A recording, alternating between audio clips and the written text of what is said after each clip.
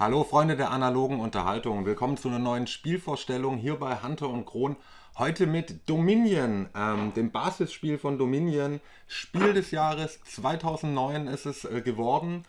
Und äh, ja, obwohl es erst von 2009 ist, also ist gar nicht so lange her, würde ich sagen, ist Dominion auf jeden Fall als moderner Klassiker zu bezeichnen, als ja die Mutter der modernen Deckbauspiele, könnte man sagen. Äh, ist eine ganze Flut an Nachahmern ähm, losgetreten hat. Spiele, die, ja, sehr, sehr viele Spiele, die im Fahrtwasser von Dominion entstanden sind und diese moderne Art des Deckbauspiels dann aufgegriffen und in anderen Themen und natürlich auch in Variationen und anderen Regeln verwendet haben. Dominion ist ein Spiel von Donald X. Vaccarino für zwei bis vier Spieler, dauert ungefähr 30 Minuten und wird hier ab 13 Jahren empfohlen. Ja, und ich stelle euch heute eben das Dominion Basisspiel vor. Hier jetzt in der Version von Rio Grande Games, äh, in Deutschland im Vertrieb vom Altenburger Spieleverlag. Ähm, Dominion war früher mal beim Hans im Glück Verlag. Da gibt es noch Versionen eben mit ja, einer anderen Covergestaltung. Ähm, die sind nicht mehr im Handel erhältlich. Also wer da seine Sammlung vervollständigen will, der muss bei eBay schauen. Eine gute Nachricht ist aber, wem da jetzt noch was fehlt äh, und der irgendwie die Sammlung auch so vervollständigen will, die Kartenrückseiten von beiden Editionen sind kompatibel. Also sowohl hier in der Rio Grande Games, in den Rio Grande Games Editionen wie auch in den Hans im Glück Editionen sind die Karten identisch mit den gleichen Kartenrückseiten. Man kann also die Editionen der beiden Verlage miteinander mischen und kombinieren. Wie eingangs erwähnt, Dominion ist ein Deckbauspiel. Was bedeutet das jetzt genau? Das bedeutet, die Spieler starten mit einem identischen Kartensatz. Jeder bekommt hier sieben Kupfer und drei Anwesen. Das ist sozusagen das Startdeck, besteht aus zehn Karten. Und im Verlauf des Spiels wird man sich jetzt ja weitere Karten kaufen. Tolle Aktionskarten, die einem bestimmte Spielvorteile äh, verschaffen oder äh, wertvolle Geldkarten, mit denen man an noch wertvollere Aktionskarten rankommt. Oder eben auch Punktekarten sich kauft. Um die geht es nämlich letztlich, weil sobald das Spiel vorbei ist, gewinnt derjenige, der die ja, größte Anzahl an Siegpunkten in seinem Deck hat. Das ist ein weiterer besonderer Aspekt hier bei Dominion, dass nämlich die Siegpunkte, die existieren wie alles andere hier auch in Kartenform. Das bedeutet, Sowohl das Geld, das ich kaufe, wird meinem Deck hinzugefügt, wie auch Aktionskarten, die ich kaufe, werden meinem Deck hinzugefügt. Und natürlich auch die Siegpunktekarten, die ich kaufe, werden meinem Deck hinzugefügt. Wenn ich jetzt also anfange, zu früh Siegpunktkarten zu kaufen, äh, die leider eben nichts anderes können, als mir Siegpunkte bei Spielende zu verabreichen, dann wird mein Deck plötzlich wieder langsam. Ich muss es also schaffen, mit meinem Deck hier ein schönes Verhältnis zu erwirtschaften. Ich will erst die Maschinerie in Gang bringen, indem ich sie mit Geld und tollen Aktionskarten äh, ja, anwerfe. Und wenn diese Maschinerie dann läuft, dann möchte ich im richtigen Moment auf, die, auf den Kauf von den Siegpunktkarten umschwenken und dann das Spiel aber auch so schnell wie möglich beenden, damit dann ja diese, dies, damit diese Karten gar nicht mehr die Zeit finden, mich zu stören. Hier mal beispielhaft so eine Auslage, wie es jetzt bei Dominion in der ersten Partie aussehen könnte. Das Besondere ist, man spielt eben immer nur mit 10 der 25 im Basisspiel vorhandenen Arten von Königreichkarten. Das ist jetzt die erste Auslage, die von der Anleitung empfohlen wird. Es gibt da mehrere vorgeschlagene Setups, aber natürlich kann man diese Königreichkarten auch beliebig kombinieren und mit einer ja, zufälligen Auswahl aus 10 von 25 Königreichkarten hier im Basisspiel schon spielen. Außerdem gibt es drei Geldarten, einmal Kupfer im Wert von 1 mit den Kosten 0, einmal Silber im Wert von 2 mit den Kosten 3 einmal Gold im Wert von 3 mit den Kosten 6.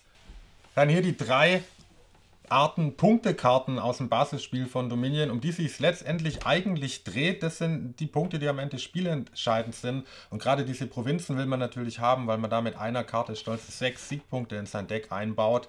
Ja, das heißt, der ganze Aufwand, das ganze Tohu Bohu, was wir hier betreiben mit Geldkarten, die wir besorgen und tollen Aktionskarten, soll uns eigentlich dabei helfen, möglichst schnell und effizient an diese wertvollen Punktekarten ranzukommen. Es gibt hier Anwesen, die sind läpprische 1 Punkte wert, da hat man ja bei Spielbeginn schon drei auf der Hand, kosten 2 Geld, wer sie wirklich kaufen will. Herzogtum, äh, 3 Siegpunkte wert, kostet 5 Geld und eben die Provinzen 6 Siegpunkte wert, kosten aber auch satte 8 Geld. Jeder Spieler beginnt mit einem identischen Kartensatz aus 7 Kupfer und 3 Anwesen. Der wird dann gemischt und als privater Nachziehstapel vor sich abgelegt. Von dem Stapel zieht man jetzt fünf Karten verdeckt auf die Hand. Ich lege die jetzt nur hier hin, damit man es besser sieht. Und ich hätte zu meinem ersten Zug hier drei Kupfer und zwei Anwesen gezogen. Ein Zug besteht jetzt daraus, ich habe in meinem Zug immer eine Aktion. Ich könnte also eine dieser Königreich-Aktionskarten spielen. Ich besitze aber noch keine. Das Spiel hat erst angefangen. Ich habe mir ja noch gar nichts gekauft. Ich habe also noch keine Aktionskarte, kann damit auch keine Aktion spielen. Dann habe ich automatisch auch immer einen Kauf. Und ich kann mir jetzt eben für mein ganzes Geld einen, ja, einen Kauf tätigen. Ich habe hier drei Kupfer, ich kann mir jetzt was für drei kaufen. Das wären hier entweder diese Königreichkarten, die drei kosten, oder auch neues Geld. Das muss ich mir auch kaufen. Hier eben ein Silber, kostet wie gesagt drei Geld. Ähm, das kann einen jetzt erstmal irritieren. Wieso ist es teurer als das, was es mir dann einbringt? Na, ganz einfach dadurch, dass man diese Ressourcen, dieses Geld, das ich benutze, das muss ich jetzt nicht wirklich abgeben.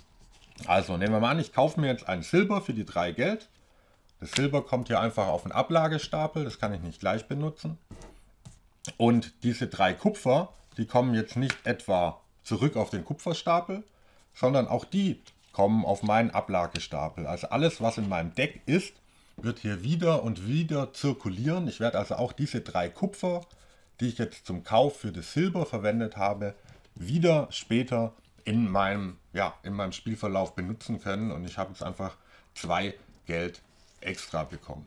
Dann habe ich hier noch zwei Anwesen. Mit denen kann ich eigentlich gar nichts machen. Das sind zwar Punktekarten, die mir bei Spielende Punkte bringen, aber ja, jetzt während des Spiels habe ich davon weder eine Aktion noch irgendeinen anderen Effekt, auch kein Geld. Die sind eigentlich, ja, blockieren sie nur meine Hand.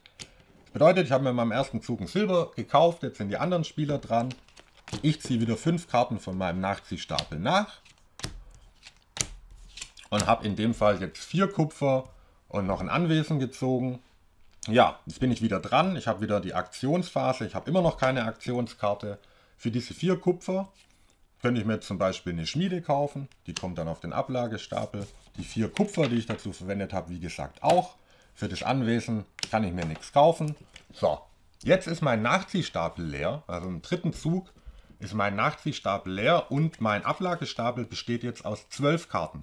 Die zehn Karten, mit denen ich das Spiel begonnen habe, plus die zwei Karten, die Schmiede und das Silber, das ich mir neu gekauft habe. Und all diese Karten zusammen werden jetzt neu gemischt und bilden meinen neuen Nachziehstapel. So, mit ein bisschen Glück ziehe ich jetzt in Runde 3 sozusagen auch meine neu gekauften Karten auf die Hand. Da ist schon die Schmiede. Schauen wir mal, was noch kommt. Da ist das Silber. So, das sind jetzt die fünf Karten, die ich jetzt in Runde 3 gezogen habe. Jetzt kommt die Aktionsphase und diesmal habe ich endlich eine Aktionskarte. Ich spiele also die Schmiede. Da steht drauf plus drei Karten. Ich darf also nochmal drei Karten nachziehen. Super, habe nochmal eine Menge Geld gezogen. Jetzt zählen wir mal mein Geld. Hier 2, 3, 4, 5, 6. Es kommt wieder die Kaufphase. Ich habe nur einen Kauf. Also ich kann für diese 6 Geld jetzt nicht zwei verschiedene Karten kaufen. Dazu bräuchte ich einen extra Kauf. Aber ich kann mir für die 6 Geld, wie man sieht, schon zum Beispiel sowas Tolles wie ein Gold kaufen. Ja, das kommt dann auch auf meinen Ablagestapel. Das ganze benutzte Geld natürlich auch. Die benutzte Aktionskarte auch. Mit den zwei Anwesen kann ich nichts machen. So. Und ab jetzt habe ich schon ein Gold, ein Silber und eine Schmiede in meinem Deck. Und so geht das ganze Spiel eben voran, bis entweder dieser Provinzstapel leer ist oder drei beliebige Stapel leer sind. Und wer dann die meisten Siegpunkte in seinem Deck hat, der gewinnt. Hier liegen jetzt zwar 10 Königreichkarten, aber schon im Grundspiel, wie man sieht, gibt es hier noch eine ganze Latte an weiteren Königreichkarten. Ähm, es gibt verschiedene Vorschläge mit Kartenkonstellationen, mit denen man spielen soll, um auch erstmal verschiedene Taktiken zu lernen. Aber es sind da natürlich der Fantasie keine Grenzen gesetzt und es ist durchaus erwünscht, äh, dass man all diese Königreichkarten, also natürlich mischt man dann nicht gesetzt, sondern es gibt hier jede einzelne Königreichkarte dann eben nochmal extra in einem Stapel zu mischen. Den Stapel kann man mischen, davon einfach 10 Königreichkarten aufdecken, die 10 raussuchen und mit den 10 wird dann gespielt. Und so ist wirklich sichergestellt, dass äh, wenn alle Spieler mal mit diesem Mechanismus vertraut sind, keine Partie Dominion der anderen gleicht, weil einfach immer eine andere Konstellation von Karten da auslegt. Und das ist einfach ähm, der langfristige Reiz an dieser ganzen Sache. Es ist jetzt nicht so, ah, hier, toll, ich habe ein perfektes System gefunden, ich kaufe mir hier immer diese Schmieden und dann so eine bestimmte Anzahl Dorf und dann das und dann läuft es wie ein Schweizer Uhrwerk. Nee, man muss hier wirklich äh, in fast jeder Partie eben aufs Neue gucken, was für Taktiken sind anhand der Königreichkarten möglich und wie kann ich jetzt anhand dieser Karten am schnellsten mein Ziel erreichen, also die Provinzen leer kaufen oder äh, manchmal gibt es auch wirklich nochmal Königreichkarten, die äh, diese üblichen Regeln wirklich massiv außer Kraft setzen und plötzlich will ich äh, doch Herzogtümer haben, weil ich einen Herzog habe, der das nochmal mit extra Punkten belohnt oder ich kaufe plötzlich doch Anwesen und ganz viel billige Karten, weil ich ein möglichst dickes Deck haben will, weil das wieder mit Punkten belohnt wird. Also da ist wirklich ähm, alles nur Denkbare irgendwie möglich. Ähm, hier im Basisspiel geht es noch relativ überschaubar und angenehm los. Jetzt stelle ich mal noch alle Königreichkarten aus dem Dominion Basisspiel kurz vor. Hier die Karten mit Kosten von 2. Einmal den Burggraben, der ist eine Aktions-Reaktionskarte und hilft einem gegen Angriffskarten. Wenn ich den normalerweise spiele, kann ich einfach zwei Karten nachziehen. Aber wenn ein Mitspieler eine Angriffskarte ausspielt, während ich gar nicht an der Reihe bin, dann darf ich diese Karte aus meiner Hand aufdecken, weil ich sie gerade auf der Hand habe. Und der Angriff hat dann keine Wirkung auf mich. Also ein starker, starker Konter gegen ungeliebte Angriffe. Mit dem Keller kriege ich einfach plus eine Aktion, lege dann eine beliebige Anzahl Karten aus meiner Hand ab und für jede abgelegte Karte ziehe ich dann eine neue Karte nach. Gerade wenn man eben viele Punktekarten und so auf die Hand zieht, die man gar nicht auf der Hand haben will, da hilft ein Keller dabei, die Kartenhand zu verbessern. Die Kapelle ist auch eine sehr interessante Karte. Da heißt es, entsorge bis zu vier Karten aus deiner Hand. Und mit entsorgen ist wirklich gemeint, dass diese Karten dann auf den Müll kommen. Die sind aus dem Spiel. Äh, da lassen sich natürlich interessante Taktiken ausprobieren. Ich kann, nachdem ich mir ein paar Silber und so gekauft habe, mein ganzes Kupfer, meine ganzen Anwesen und alles entsorgen und mein Deck so wirklich bereinigen und veredeln, dass ich einfach gar keine schlechten Karten da drin mehr finde. Hier die Königreichkarten mit den Kosten von 3. Einmal der Kanzler, der einem, wenn man ihn ausspielt, plus 2 virtuelle Geld generiert in, der, in dem Zug. Also man bekommt da jetzt kein Silber oder sowas auf die Hand, sondern der generiert einfach virtuelle Geld. Äh, ja, dieses Plus X Geld ist äh, was, was man hier in Dominion oft treffen wird. Und außerdem heißt es unten noch, du darfst sofort deinen kompletten Nachziehstapel auf deinen Ablagestapel legen. Man kommt also schneller an bereits gekaufte Königreichkarten ran. Dann das Dorf plus eine Karte, also eine Karte nachziehen, plus zwei Aktionen. Ja, eine wichtige Karte, solche Aktionsgeber, um überhaupt irgendwelche Ketten und Kombis von Aktionskarten aufbauen zu können, weil ansonsten muss man ja beschränkt auf eine Aktion pro Zug. Mit dem Holzfäller kriege ich einen Pluskauf und auch plus zwei virtuelle Geld. Der Pluskauf ermöglicht es mir jetzt halt mehr als eine Karte in einem Zug zu kaufen. Mit einem Pluskauf kann ich dann schon zwei Karten pro Zug kaufen, weil einen Kauf hat man ja standardmäßig immer. Wenn man die Werkstatt ausspielt, dann nimmt man sich eine Karte vom Vorrat, die bis zu 4 kostet. Königreichkarten mit den Kosten von 4 gibt es hier jede Menge im Basisspiel. Da sind auch einige Angriffe mit dabei. Fangen wir an mit der Miliz. Man kriegt plus 2 virtuelle Geld und jeder Mitspieler muss Karten ablegen, bis er nur noch 3 Karten auf der Hand hat. Hilft natürlich ein Burggraben, dagegen ansonsten hier im Basisspiel nicht viel. Der Spion, man darf eine Karte nachziehen, hat noch eine Aktion und alle Spieler, auch man selber, decken die oberste Karte des Nachziehstapels auf. Und ja, du entscheidest, wer seine Karte ablegen und wer sie wieder auf seinen Nachziehstapel zurücklegen muss. Ganz klar, äh, schlechte Karten zurücklegen, gute Karten ablegen. Mit dem Dieb versucht man Geld zu klauen. Jeder Mitspieler deckt die obersten zwei Karten seines Nachziehstapels auf und wenn da eine oder mehrere Geldkarten dabei sind, dann muss jeder davon nach deiner Wahl eine entsorgen und du dürftest auch eine beliebige Anzahl der entsorgten Karten nehmen. Nehmen heißt einfach auf den eigenen Ablagestapel legen. Also der Dieb klaut ganz einfach Geld und da könnte natürlich, wenn man es geschickt macht, auch Gold dabei sein. Der Bürokrat ist auch ein Angriff. Man nimmt ein Silber vom Vorrat und legt es verdeckt auf den eigenen Nachziehstapel, bekommt es also gleich im nächsten Zug dann auf die Hand. Und jeder Mitspieler muss eine beliebige Punktekarte aus seiner Hand aufdecken und sie zurück auf seinen Nachziehstapel legen. Ja, wer keine Punktekarte hat, zeigt seine Kartenhand vor. Damit macht man natürlich die Spieler langsamer. Die haben sich gerade schon geärgert, eine Punktekarte auf der Hand zu haben und durch den Bürokraten kriegen sie die gleiche Punktekarte in der nächsten Runde wieder auf die Hand. Der Umbau ist auch schon etwas spezieller, da entsorgt man eine beliebige Karte aus seiner Hand und nimmt sich dafür eine Karte vom Vorrat, die bis zu zwei mehr kostet als die entsorgte Karte. Also ich kann mit einem Umbau zum Beispiel einen Spion entsorgen, der vier kostet, mir dann eine Karte für sechs nehmen und kann dann zum Beispiel aus dem Spion ein Gold machen und später mit dem Umbau könnte ich dann aus dem Gold, das ja 6 wert ist, plus 2, eine Provinz machen. Also schon auch eine ganz lustige Taktik. Mit diesem Umbau ist viel möglich. Mit der Schmiede ziehe ich ganz einfach drei Karten nach. Beim Festmahl entsorge ich diese Karte und nehme eine Karte vom Vorrat, die höchstens 5 kostet. Ich komme halt einmalig günstiger an eine 5er Karte ran, aber danach ist das Festmahl eben auch verschwunden. Und mit dem Thronsaal, da wähle ich eine beliebige Aktionskarte aus meiner Hand und spiele diese Karte dann zweimal aus. Also zum Beispiel Thronsaal Schmiede, dann dürfte ich 6 Karten statt 3 Karten nachziehen.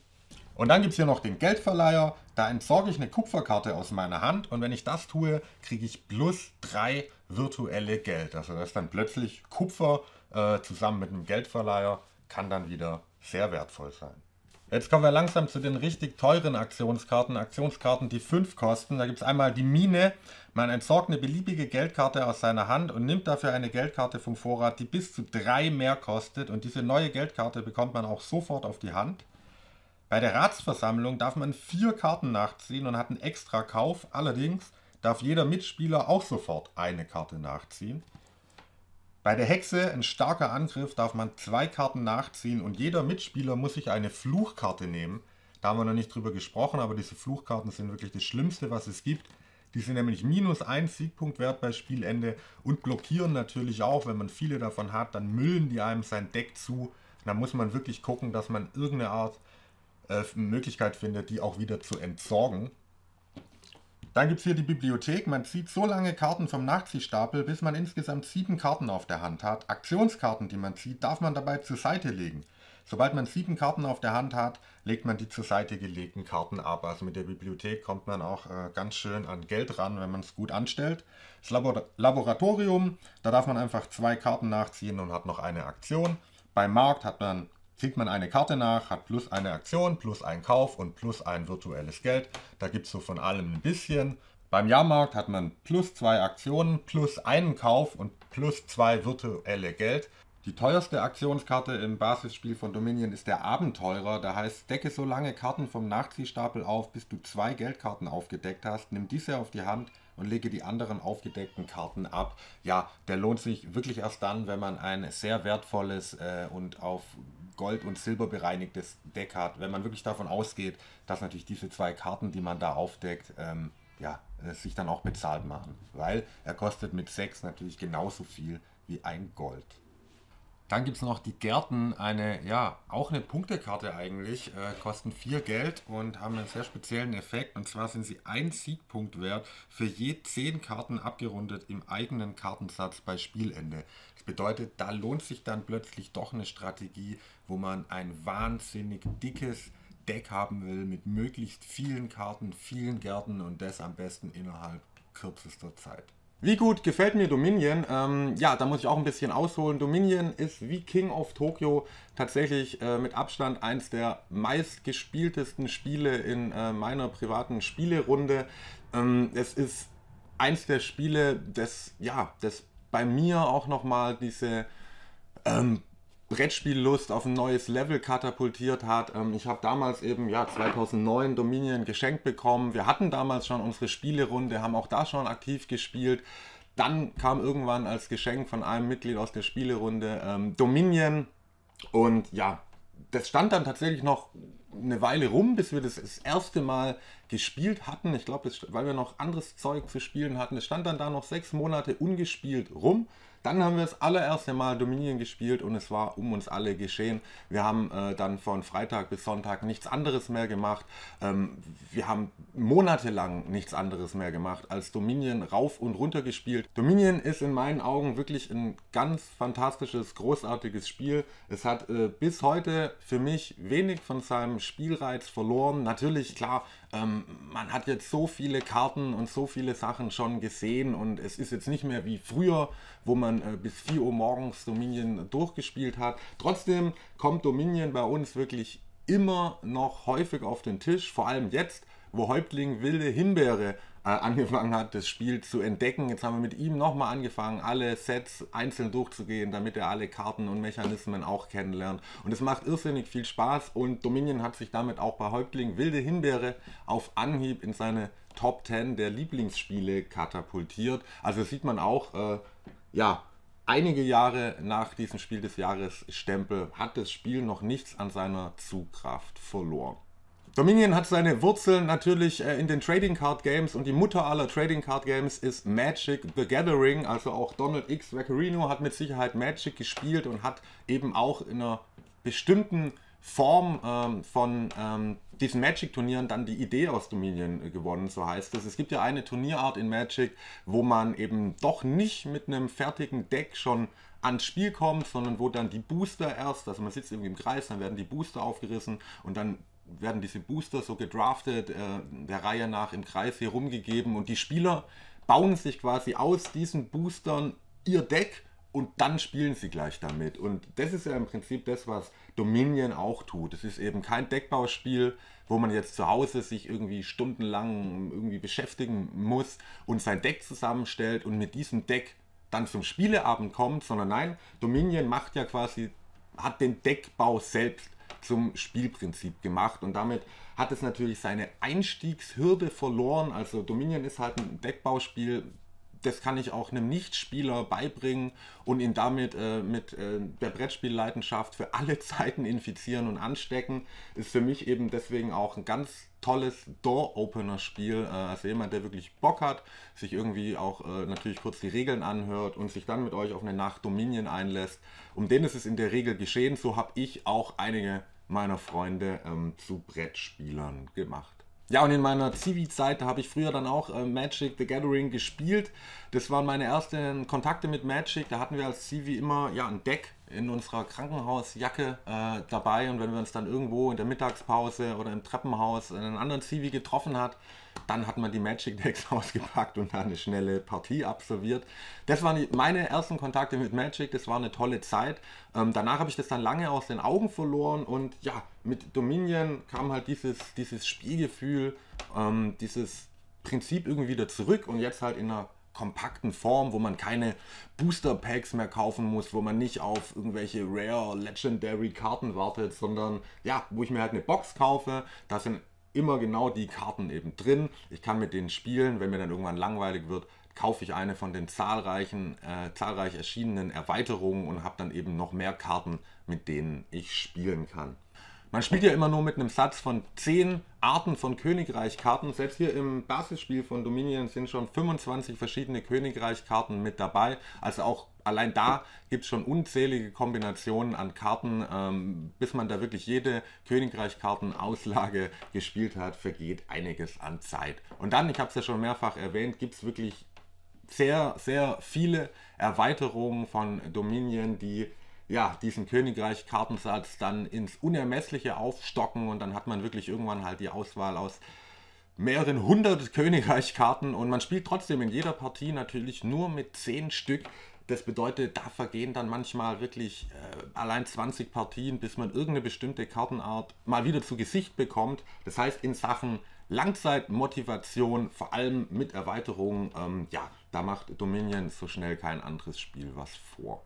Auch dieses wirklich gelungene Siegpunkte-Prinzip, also dass ich diese Siegpunkte halt auch als Karten kaufe und in mein Deck einfüge, aber diese Siegpunktkarten, mit denen kann ich überhaupt nichts anderes machen. Das heißt, während des Spiels blockieren die mich ähm, und wenn ich zu viele schlechte Siegpunktkarten in meinem Deck habe, dann machen die mein Deck sehr langsam und äh, dann verliere ich hinten raus plötzlich noch. Und eben diesen Moment zu finden, wann schwenke ich jetzt um vom, vom Deckbau auf den Siegpunktekauf, ist einer der kniffligen und reizvollen ähm, Aspekte in Dominion, da gibt es natürlich unzählige verschiedene Taktiken. Das hängt damit an, was für Karten, was für Königreichkarten da liegen spiele ich auf ein kleines, dünnes, schmales Deck, weil es Entsorger gibt und ich meinen ganzen Müll und mein Kupfer und meine Anwesen loswerden will oder habe ich irgendeine Gärtenstrategie, wo ich plötzlich darauf ausgelegt bin, ein gigantisch großes Deck zu haben und das in kürzester Zeit mit Pluskäufen und, und sonst der Geier was versuche ich da mein Ziel umzusetzen. Also es gibt wirklich einfach je nach Auslage der Königreichkarten wirklich immer